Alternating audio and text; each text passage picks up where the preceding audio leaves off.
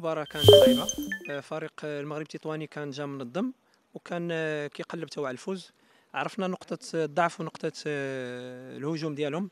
آه، حاولنا ما يمكن اننا نسجلوا حنا الأولين. ما تحش لنا الفرص. الحمد لله اللعابة كانوا آه، واعيين آه، المسؤوليه اللي عليهم. وثلاث أهداف باش آه، ديما تكون منهزم وترجع في المقابلة صعبة شوية.